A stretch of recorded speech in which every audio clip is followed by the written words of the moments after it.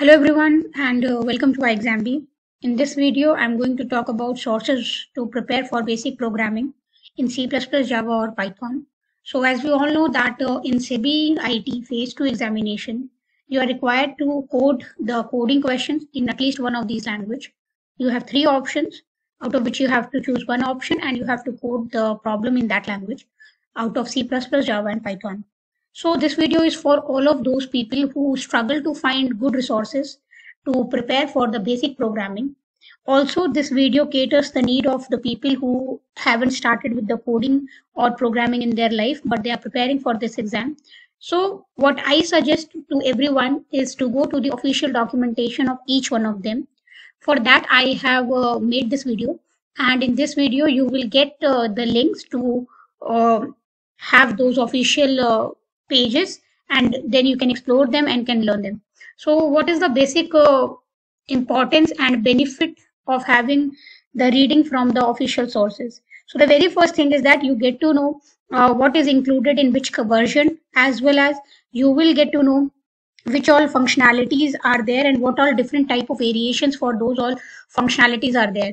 For example, a function might be overloaded to many extents. So you will get the entire information there and that information will not have any errors.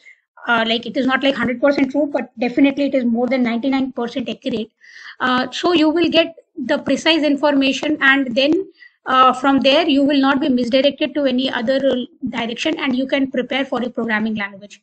Because what we need to do for SEBI is that we need to hold a good command over any one of the language and at the same time we have to learn the coding skills. So these two things are very different. We at ixamBee cater the second one but the first one has to become like uh, has to come from you.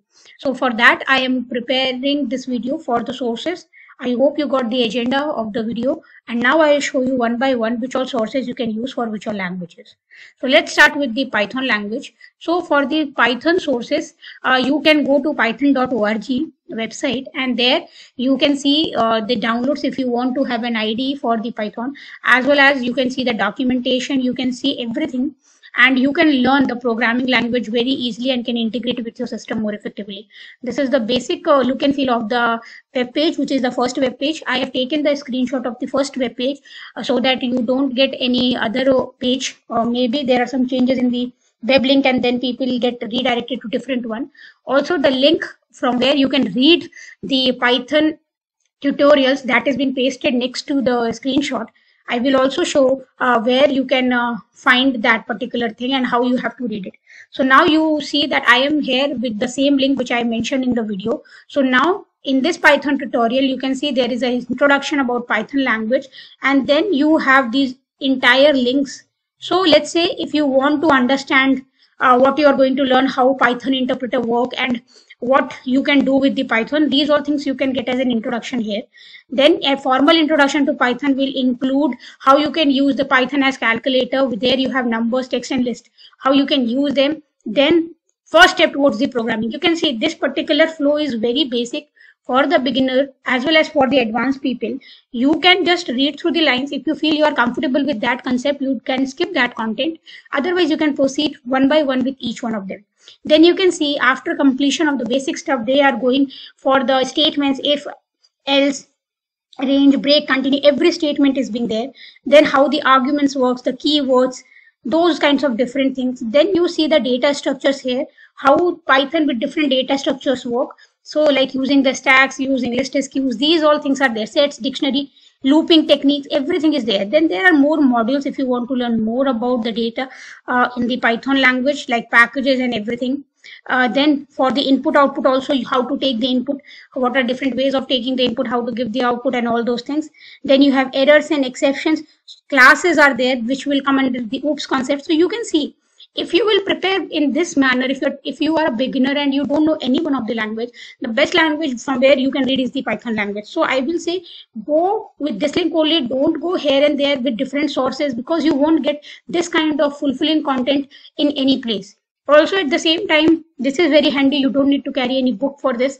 There are books also for this but that will be so outdated sometime uh, and you might need a different latest version and that might not be available in the market as a hard copy also So I will suggest you to go and learn through this particular link, which is currently shown on the screen. And then it will be all good for you. And you can learn about all the OOPS concepts, everything, whatever you want to learn. And see this, if you end this, it is not like only the beginner level. It is more than a beginner level and you get all the tools in your hand. So this is the link and these are the uh, topics. If you can click on any one of them and you can get redirected to that particular topic and you can prepare for that Python. Okay. You can also choose the different uh, version here also. You can see which version you want to read on. So you know that Python's version will be different what is currently available in the market. At the same time, it will be different what SEBI is going to use. So you can just switch on to that particular version and can choose that version and can learn about that version only so that you are up to date and you know what all things are provided in that version that you can use in the exam also. Now, this was about the Python language. Now let's go to the source for the C++. So for the source of C++, I personally refer the CPP reference and here I have attached the screenshot and I will show you the uh, link as well. So this is the web page which you will get for C++ uh, 11, 14, 17, 20, 23 and 26 as well and the compilers which are also supported.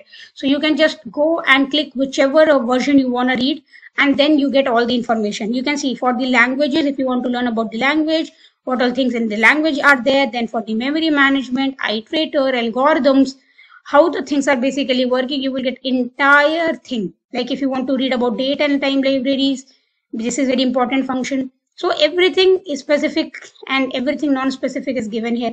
How to use regular expression, then how you can use the container libraries, the list, and then all everything so classes, function and everything. You can see if you will cover this first section of the language, you will be done with the language. Then the other things you can read as per the syllabus. You can read string library so that you will get a clear idea for the string manipulation in the exam. So what I suggest, uh, if there is any new functionalities which mentions like C++ plus 17 or C++ 20, it means you don't have to read that because you first have to get the understanding what uh, version of C++ they are using in SEBI IT Pariksha that you can get to know from the previous year also. Definitely it is not C++ 11 or 14 or 17. It is less than C++ 11. So according to that, which all don't mention C++ 11 or anything, you can read them so that you have a good kind of tool thing in your hand. Okay, so this is the entire C++ uh, reference. If you want to learn about some C language stuff also, you can know from the C reference also. So this particular link is completely uh, like uh, beneficial as well as it is authentic and it won't offer you anything else extra or anything else apart from the basic job. So that is the thing that you can refer for the CPP reference. And uh, now we'll move back to the Java sources. So for Java, there are many sources and you can refer many sources, but I personally feel that Oracle is one of them where we can start it. So I will now show you the web page for the Oracle and the web page for Oracle, something like looks like this, where you have the Java documentation. So you can also change all the, see the changes in the Java languages in the summary, which is updated in the standard edition. You only need to read from the standard edition. There is no need to read from the enterprise edition. So you can just uh, stick to the standard edition. Then what all things you are required. So how to learn the Java language, basic Java classes, collection, date time APIs, all those things you can learn. You can skip the graphical user interface because that is not the part of the course. Also, once you go inside one link, you will get to know what all things you need to learn. So this all things you don't need to learn, which are shown in the lower part, but you need to learn about the trails covering the basics. So that all things you need to learn. Once you click on any particular link, you will be uh, like uh, redirected to that link and you can learn from that. So these are the three important sources for each one of the language. I do not prefer more than this because then it will be a kind of misleading thing. Always stick to one source and that source should be official. So this is my reference and source uh, for to all the people who every time ask from where we should prepare. You should always prepare with the official documentation, the standard thing. So I hope this video was useful for all of you and you guys get a good idea from where you have to start for the sources. And even if you are like, uh, you learn something and you forget something, you can stick back and rely on these resources to check whether uh, what current happening is there and you will, you don't have to go and search in any book or to like google further links to get to know if you leave something behind or not. So these are very good and official sources. So my personal opinion will be to only stick with those sources. Now, if this video was useful for you and if you like this video, do hit the like button and subscribe to the channel if you are an unsubscribed user because we will keep bringing on very good content and uh, important information for all the government exam. For that, you have to also hit the bell icon so that you get the latest notification whenever we will bring any video for you. Also, if you have any query, you can just uh, write to us at hello at exambee.com or on the number which is flashed on the screen, you can just give us a ring. At the same time, prepare 50% faster with iXambee by going to our course that is available on www.iXambee.com. Just choose which particular exam you want to enter and just see the demo offering and everything there. It will give you a clear idea. So if you are making your mind to prepare, don't wait for this. Just go to our website and start your preparation. So that was all from my side. Till then, I keep bringing the new videos, keep practicing and stay updated.